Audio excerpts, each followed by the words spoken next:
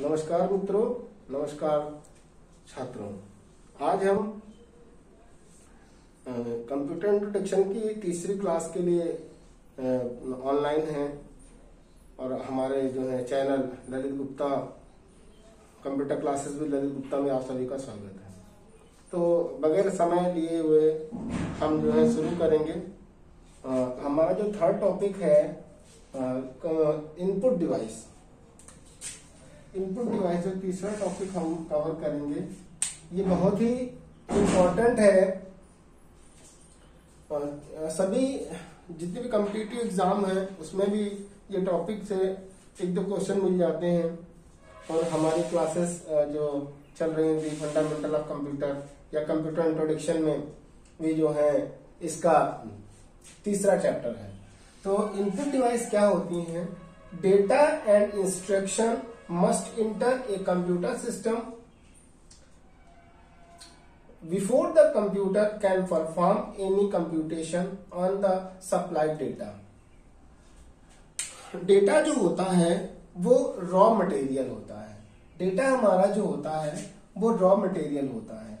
और इंस्ट्रक्शन का मतलब होता है निर्देश सूचनाएँ हम डेटा को और इंस्ट्रक्शन को जब कंप्यूटर में इनपुट करते हैं तो वो उससे क्या करता है? उससे परफॉर्म करता है। उस पर काम करता है कंप्यूटेशन करता है। ऑन द सप्लाई डेटा जो भी उसको दिया गया है। तो ये डेटा जो मिलता है उसको काम करने के लिए, वो हमें इनपुट डिवाइसेस से मिलता है। या कंप्यूटर को इनपुट डिवाइसेस के माध्यम से दिया जाता है। कहने का तात्पर्य यहाँ पर यह है कि कंप्यूटर में जितने भी प्रकार का डेटा या इंस्ट्रक्शन जो दिया जाता है, वो हमें इनपुट डिवाइस से देना होता है या दिया जाता है। The input device input unit that links a computer with its in internal environment perform this task जो इनपुट डिवाइसेस होती हैं, वो इंटरनल रूप से बाहर से उस कंप्यूटर सिस्टम में कनेक्ट की जाती हैं और आपके द्वारा दिए गए वो जो है वर्क को, वो टास्क को कंप्लीट करती हैं परफॉर्म दिस टास्क जो आपने टास्क उनको दिया है, उसको परफॉर्म करती हैं। तो ये ऑथेंटिक इसकी लैंग्वेज है, या कह लीजिए एक इसकी परिभाषा है डिफिनेशन है, आपको समझ में आई होगी। अगर दूसरे शब्दों में देखें तो दूसरे शब्दों में कहेंगे बाय दिस डिवाइस बहुत सिंपल सी लैंग्वेज है by this device we can input any type number character और सिंबल कॉल्ड इनपुट डिवाइस जिन डिवाइसेस के माध्यम से हम किसी भी प्रकार का डेटा चाहे वो करेक्टर हो ए टू जेड हो, या नंबर्स हो ज़ीरो टू नाइन हो, या कह लीजिए सिंबल्स हो। सिंबल का मतलब सिंबल भी आपके इंस्ट्रक्शन में ही आ जाते हैं। सिंबल्स को इनपुट करते हैं। वो हमारी इनपुट डिवाइसेस के माध्यम से हम करते हैं। मोस्ट कॉमन इनपुट डिवाइस हमारे कंप्यूटर की जो है, वो यहाँ पे कुछ दिए हुए हैं। इनके बारे में हम देखेंगे। सबसे पहले हमारा मोस्ट कॉमन इनपुट डिवाइस में सबसे पहले कीबोर्ड हमारा है। कीबोर्ड और माउस दोनों एक कॉमन इनपुट डिवाइस है। कीबोर्ड और माउस। कीबोर्ड से पता चलता है की माने क्या होता है। की का मतलब होता है कीज मतलब कुंजियाँ। और बोर्ड माने होता है एक बोर्ड जिस पर बहुत सारी कुंजियाँ लगी हों। इन कुंजियों से क्या करते हैं? ए टू जेड और zero to nine plus minus multiply ETC in data को क्या करते हैं? हम कंप्यूटर में भेजते हैं। तो कीबोर्ड हमारी क्या है? इनपुट डिवाइस अगला सेकंड है माउस। माउस हमारी जीयूआई टाइप की इनपुट डिवाइस है। Graphical user interface. GUI type की इनपुट डिवाइस है और इसका प्रयोग विंडोज़ बेस्ड सॉफ्टवेयर में किया जाता है। सभी लोग परिचित हैं। माउस जो होती है, इस टाइप का कुछ हुआ होता है। ऑपरेशन टाइप के जो माउस आ रहे हैं, इनको ऑप्टिकल माउस कहा जाता है और वायरलेस भी आ रहे हैं। तो इसमें जो कीज हैं, उनकी बात करें तो ये जो है आपकी, इसको लेफ़्ट बटन बोलते हैं और ये राइट बटन बोलते हैं। और यहाँ पर एक बटन होती है, इसको स्क्रॉल बटन बोलते हैं। स्क्रॉल बटन बोलते हैं। लेफ़्ट बटन जो होती है लेफ़्ट बटन का काम क्लिक करना होता है। राइट बटन का मतलब होता है, जब भी कहा जाए क्लिक करना है तो लेफ़्ट बटन से क्लिक करेंगे। राइट बटन का मतलब होता है कि राइट क्लिक करें। ठीक है? राइट क्लिक करेंगे, जिससे आपके ऑप्शन मेनू खुलते हैं, और जो ड्रैग करने की क्रिया होती है, वो भी लेफ़्ट बटन से होती है। और स्क्रॉलिंग पेज को ऊपर नीचे खसकाने के लिए स्क्रॉल बटन का प्रयोग किया जाता है। ठीक है? आगे हम चलेंगे थर्ड नंबर पे देखेंगे स्कैनर स्कैनर स्कैन से बना हुआ है। स्कैन माने होता है किसी भी वस्तु को, किसी भी टेक्स्ट को, किसी भी ग्राफिक्स को स्कैन करना। स्कैनर का प्रयोग हम जो है किसी भी टेक्स्ट डॉक्यूमेंट को या आपके ग्राफ को या आपके जो है किसी वॉलपेपर को या इमेज को हम स्कैन कर सकते हैं। It is same as the photostat machine ये फ़ोटो स्टेट मशीन की तरह काम करती है, लेकिन फ़ोटो स्टेट मशीन का क्या काम होता है? स्कैनर का क्या काम होता है? फ़ोटो स्टेट मशीन पूरे पेज का फ़ोटो कॉपी करती है एक बार में। लेकिन यहाँ पर हम स्कैनर के माध्यम से सेलेक्ट करके जितना भी इमेज को, जितने भी टेक्स्ट को, जितना भी आपकी आवश्यकता हो, उतने टेक्स्ट को हम क्या कर सकते हैं? स्कैन कर सकते हैं।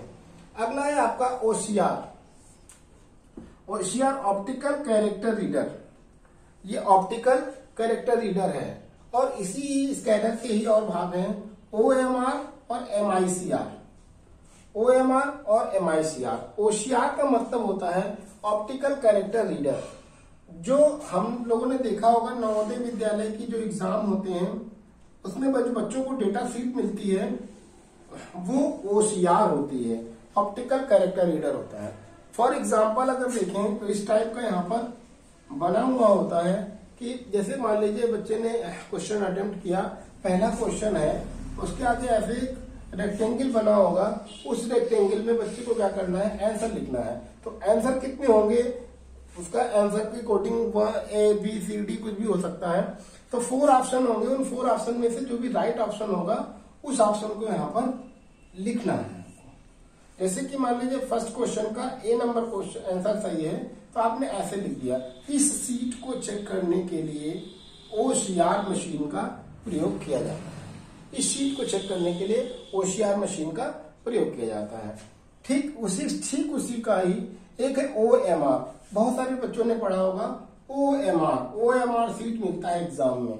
मोस्टली एग्ज़ाम में ओ एम आर अब मिलता है, जो हाई लेवल के एग्ज़ाम होते हैं। और जो नवोदय कराता है या कुछ और छोटे लेवल के जो एग्ज़ाम होते हैं, उसमें ओसीआर सीट का प्रयोग किया जाता है।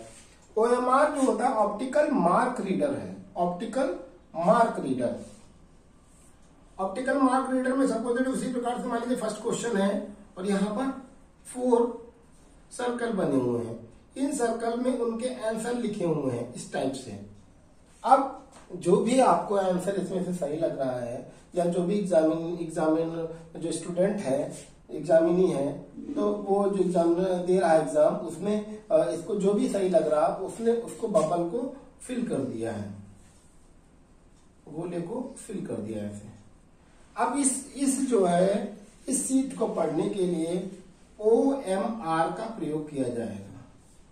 ओ एम आर का तो ये कौन सी सीट है? ये आपकी ओमार है और ये क्या है? ओशियार ठीक है?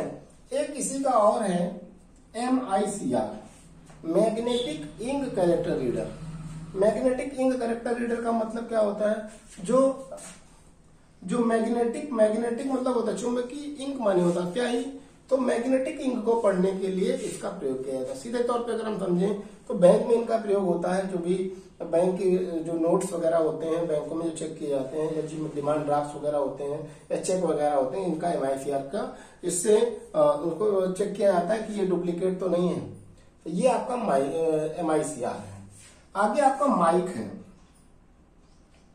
माइक सभी लोग जानते हैं माइक का प्रयोग आवाज़ को रिकॉर्ड करने के लिए किया जाता है। जैसे कि हमें कंप्यूटर में किसी प्रकार की आवाज़ को रिकॉर्ड करना है तो हम माइक का प्रयोग करेंगे।